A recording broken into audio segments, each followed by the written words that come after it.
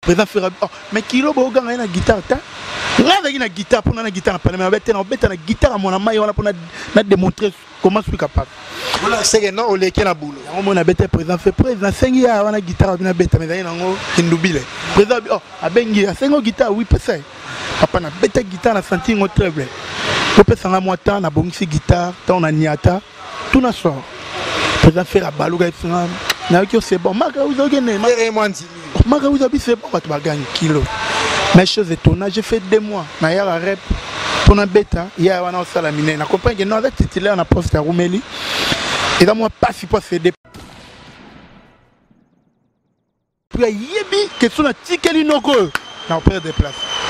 bon ngai deya nango kende orkestre moko teke nafandaka nazelaka te ngai na moto ya patience te patience fo epa kabose ya place so naniokama so nakenda baorkestre bato fo nabeta mbala moko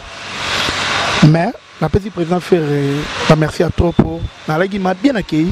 nayaka répétition natemi na podium président omona ngai c'est bon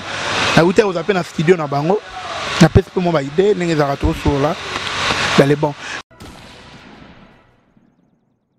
bangaki kokuense wana bamabubas bazana grand basiste voyageur titulaire yo bote alobi na koleka na ngai wapi tika nazonga na kaka paka bosi yango ngai nasala test eh.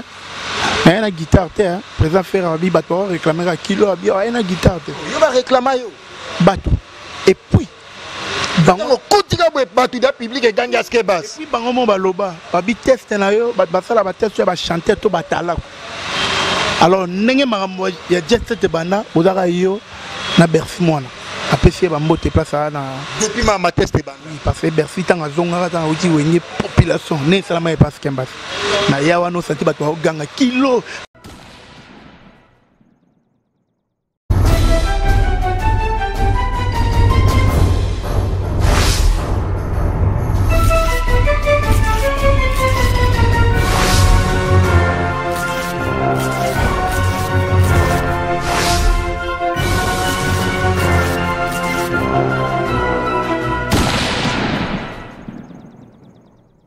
les internautes, salut et merci pour votre attention soutenue. Je sais que vous êtes très nombreux en train d'attendre cette belle émission. Ensemble avec Prince Bakali, tout est commencé, tout a bel et bien commencé. Ensemble avec Prince Bakali chez Cléboa. Je suis ici pour vous servir, vous donner des actualités des artistes musiciens. Je reçois pour vous un artiste musicien qui évoluait à côté de Kabossé Seboulembi. Il avait fait aussi un déplacement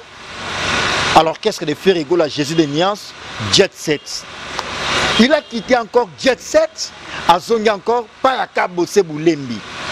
C'est un artiste que bino nyonso tout boyembi na bombi ye nani mwa moke mais bokoyeba ye pour que tosola ne beaucoup plus davantage mais avant d'y arriver là laisse-moi remercier les boss de cette grande chaîne YouTube informative Cleboa les sel nous sommes également sur www cleboa.com le véritable et le seul Cléboa ensemble avec De La Nation, mon boss. De La Nation en compagnie parce que c'est une grande entreprise. Pichu Mangaya, la grande dame. Il y a toujours pour que ma solitaire toujours Kitoko. Et dans la coordination Cléboa euh, Kinshasa. Herman Emporio Garçon Slim, Azana Pouya ma cambo ainsi qu'à la prise de vie, caméraman principal Marcus. Merci pour des belles images ensemble avec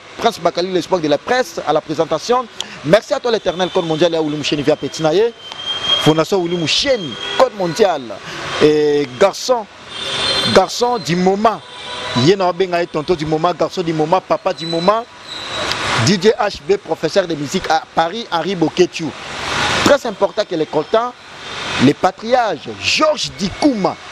les patriages sont Melo Ngambe Mobali. Merci beaucoup. Et merci à toi, maître Lola de Bruxelles. Finantimou Moulakata Djobour, merci. comme je l'ai dit tantôt, je reçois pour vous Askebas. Kilo d'Afrique. Est-ce que Kilo d'Afrique en est-il là Boye bango tout au long de cette, de cette grande émission ensemble avec Prince Bakali. Bonsoir Aske. Bonsoir Prince Bakali, mon pote quoi. Alors batalo partout dans le monde, na ndenge ya clé boa world, babi chaîne à munene, RTNC à ba chaîne YouTube informative, eza clé boa. Pour la première fois na ya mona ndenge ya clé boa, santé ndenge ni. Santé calme, hein, santé super, nous mona, nous avons ça là, nous avons battu la quoi.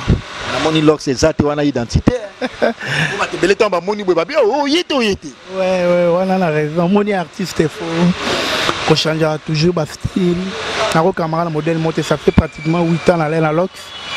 Le le katen a changé son idéologie. Après quelques temps on a changé le foot. Donc voilà quoi, tant qu'artiste. batebele bayebaki oyo tokota na actualité mbala moko akote ya kabo se bulembi se lau ozalaki artiste azalaki koni askebas brusquement olongwe en plein succès après après avoir reçu ba trophée na ndenge ya ba ya la Zambie Zambie na lusa na ndenge ya Zambie tant que meilleur bassiste africain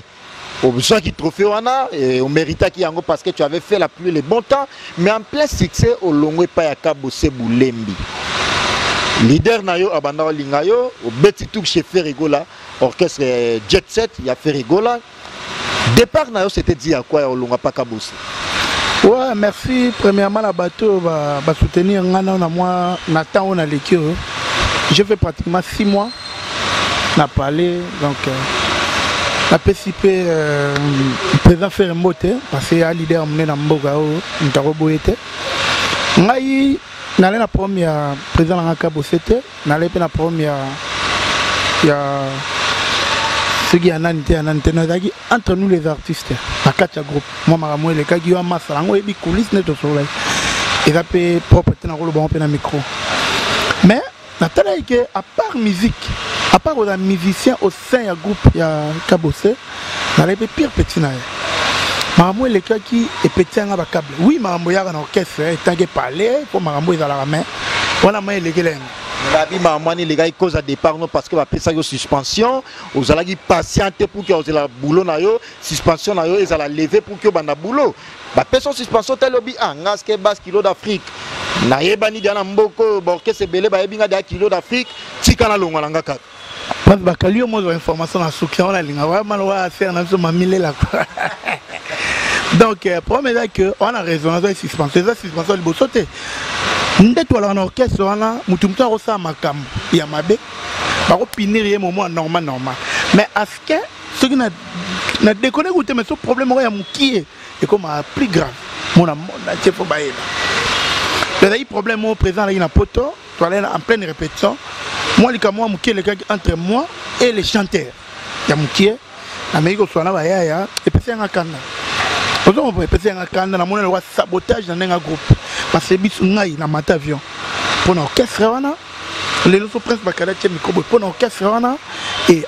mpo na président na nga kabo c'est donc azo azo azo mérité ba maximum ya respect mpe maximum ya considération na ndenge ya groupe na ye mpo eza groupe ya bato mais chef atianga non so omoni orepete te kende pale nde omoni akendaki pale ntango nake pale mpe ezalaki na poto babengi prese non asika mpoki gitare abiki aoyaki ngoyo oya moto ya mosika amoni kaka ke non ah, peti na ngai komai okokende yango bo esalaki yango mpe bo non ezalaki mabongo te bapeselaki nde fausse information nabwaka guitare te guitare yango eliesaka ngai yango esala kobwaka ndenge nde omoni ke président akomela ngai non lokola na poso mpe mapema na pale ti mgongo ngai na oya lobi na yango babengi epa secrétaire non ozwi suspension 4 semaine un mois ouais nazwi yango le 24 euh, le 24 mars le 24 mars ah nabosani ezali le 24 mwa moko sikoyo fosi ezala le 24 ya mwa wana président ye kinshasa na siba le 22 le 24 suspension esili ezalaki samedi biso repeta mardi jeudi ntango na ye mardi na repete chef abiyo orepete te makambo no président gérant oh papa suspension nanga esili tianga na banda boulot azongi pale jeudi na ye meme franchement nakoya kosupporte te natali sikoyo ke non wana orchestre ngai na banda orchestre wana esadi ntango ngai na ye ebele baza na bayaki te prince j'ai fait 10 ans nakota orchestre wana momo baobenga yango orchestre endaka baba congo ozo comprendre Na bunda au niveau na kuta titulaire na poste Issa Bass. Obetela wapi? Na beta élection nga na beta te mais nazalaka na groupe Muselege te na beta te. Mais na lakisa de quoi je suis capable par rapport à boulot, par rapport à esprit musical. Nako beta biloko ya boma. Lelo tokomi na ba ya kolembola bazakala ta lelo na zilo na ba trophée. Ko tout wana to na raisonner yango moni epetianga ba câble. Natika na toningola mpe obangaki kokuense wana bamabumbas bazana grand basiste voyageur titulaire yo bote alobi na koleka na ngai wapi tika nazonga na kaka paka bosi yango ngai nasala test eh. naye na guitare te eh. président fere abi bato baoreklamaka kilo abi aye na guitare te yo bareklama yo bato epuis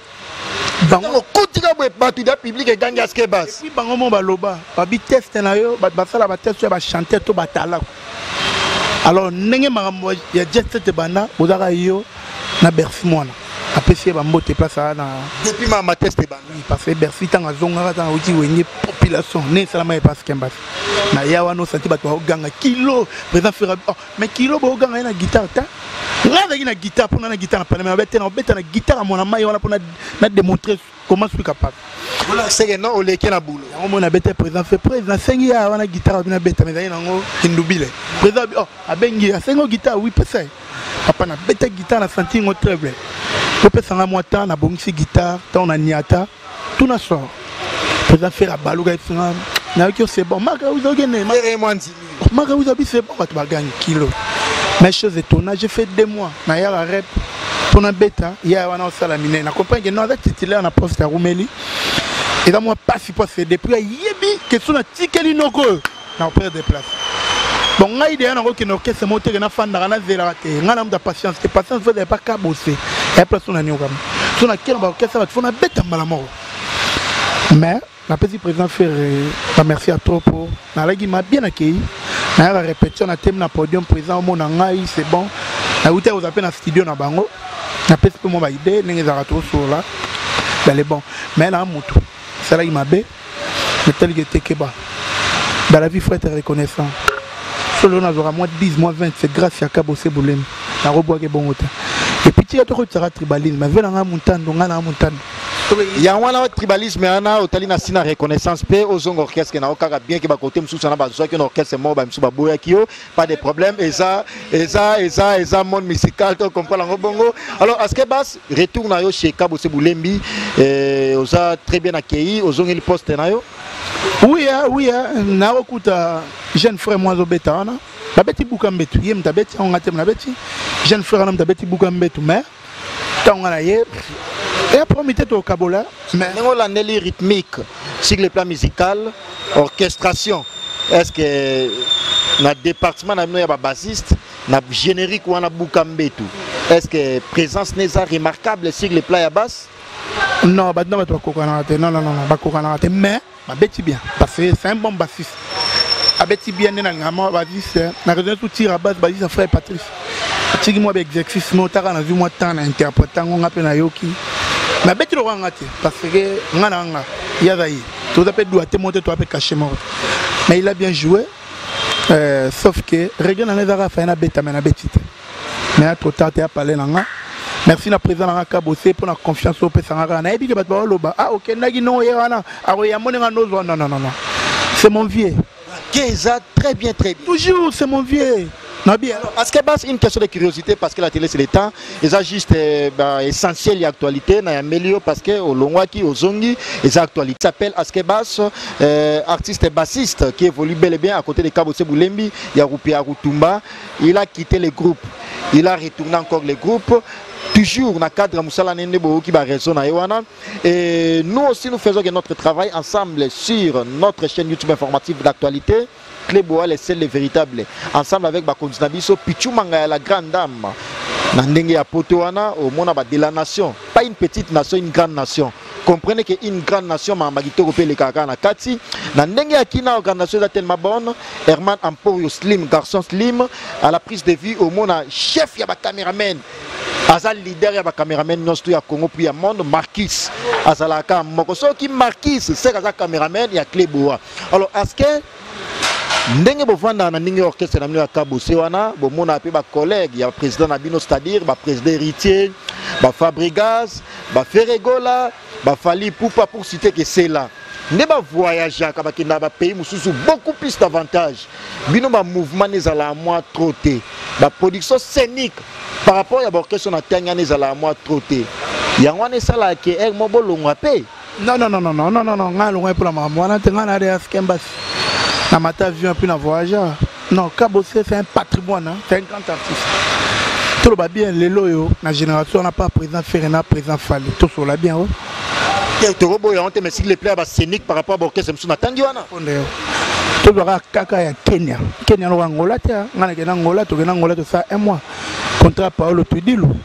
eventos ve na biso tolala na hotel ya mystique ve na biso kuadra ya mbanda alala na mpe bayao za bino badokta kinkani bazala bayao za bino délégation na bakenya ebele oyo mona et puis à ma grande surprise namona général defao mokoko kokoba général defao namona ete nazalaki mwana moke mpo ngai na mwana bumbwa ngai na galwa bikisaka nabeta to na bumbu sikoyo namona ye kala na ye omona ye biso okenda kenya soki ya koko na bino numero oui ya bana na deko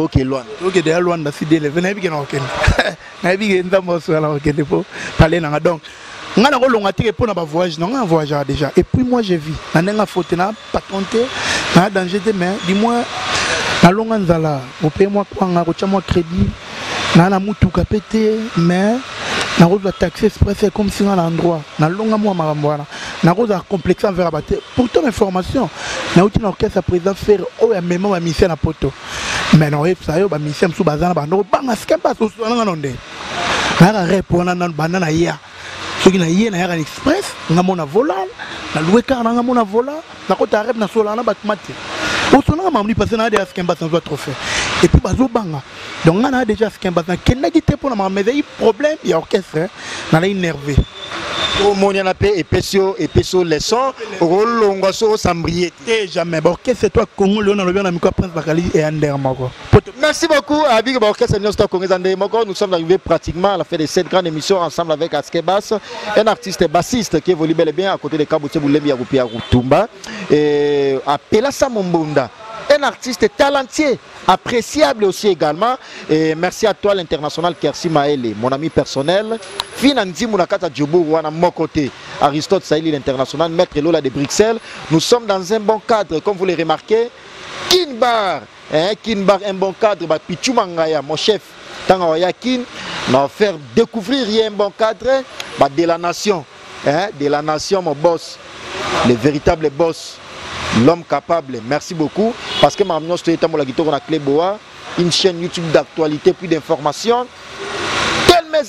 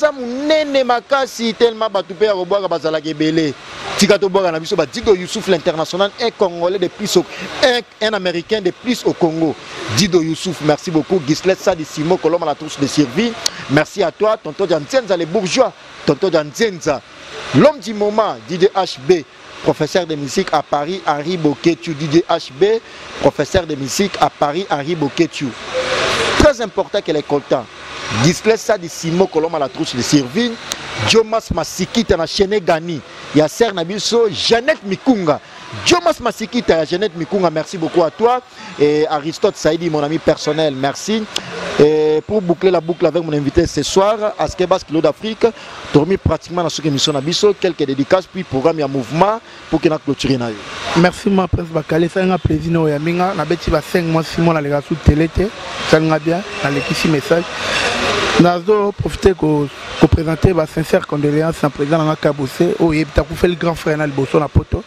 akufela grand frère na ye akufaki avant ye na biso Ignace Mabeka merci corps eyaki euh, na famille mobimba famille bulembi ya leon bulembi nango grand frère Kabose akufa grand frère ne propre ya Ignace Mabeka mwana père na ye vraiment libu moko e babuka mbeto ebimi na baliwa rere eloko te ya Ignace Mabeka père son âme et puis ya leon bulembi courage euh, nazali na miniti oyo nazongeli makambo tu nde bomesana komona mona nga bomona nga et puis d'ici là tokobeta na si deuxième générique président nanga opianga toujours confiance na odépend depuis nayoki album ya mission ali nayebi te soki bakopesa nga champ nayebi ke bakale okobundela nazwa ata champ mpo otalaka ya alors baya wili musheni baotala yo quelques dédicaces Dedicace na nga liboso eza ya Willy Musheni. Merci vie na nga Willy Musheni po kufela ye mama toala ye na matanga courage. Matanga na di jamais vie ya ya Willy Musheni. S'il vous plaît ya ya na loba ya Willy Musheni lelo mana loba soki totala ngai eloko osali nao namona te meme ngai nakufela mwana bato bando ya otanga baotikela ngai mwa infra me biso toke matanga ya wili aliesi biso amelisi biso mpe akabeli biso bambongo talaka ngai bengai ngai mopanzi abina ngai peti na ngai zwa mbongo oyo eh, benga eh, motu mwa atyaka couleur atyelo couleur nakendaki limete ya wili nazwi motu mwa atyaka bacouleur wana gangaka to na limete nafutaki mbongo atyelaki nga couleur lobi en tout cas ya wili moshene tokomprendre ke yo nde code bango bacode te nabengaki atyela nga couleur na palais yaya napesaki ye ma 300 dollar diku ya wili apesaki atyelaki nga couleur ya wili oza danger oza ma danger moto aleki aza te c'est toi le code napesi mbote na ngai epai ya helene tianga na bruxelles mare na ngai helene tianga de bruxelles eh, grande sere ya badadi kalonji a ah, na kin pesi mbote ya to epai ya bijou mare supérieure déjà bajoyeux anniversaire na yo mpo eza mwana na yo joyeux anniversaire bijou mare supérieure motema ya papi miguel le juf noir mon vieux napesi mbote epai ya aime bitenga motema ya mpe na ngai blaise ncole na belgique wana louvain napesi mbote epai ya mare na ngai euh, bibiche afingi na belgique masa eme bitenga bibiche afingi na ke sikoyo na caroline du nord na états-unis wana namoni grand prete mare guani matota top modèle moto aleki oyo aza te guani matota obai na ngai pale yango femme de disque ebuka mbeti nazongi deya pale mama na dorcas nzeza pesa Dorcas vrai chéri bambota to napesi mbote ya trop epai ya charlene moseka na belgique mwasi mwa gaillard vrai chéri charlene moseka epuis euh, mare la marula mpe na ngai landri bisidi nazongede ya boulot bafani na ngai to saint etienne na obwaka bino te mpo na na kanda na bino fo tosololaka bien ozo comprendre boulot eza pesa bapesa yo nasukisi na ngai na kati ya turquie winike kembo vrai chéri euh, nani denzu makela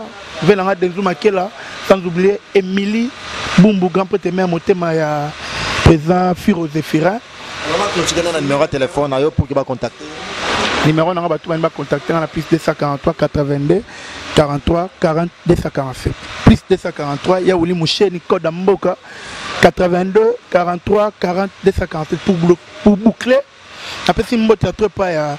vrai chez moi otala biso na france dinamo kabemba dinamo kabemba et puis prince bakali lelo komona ngai change ya zwa skembas te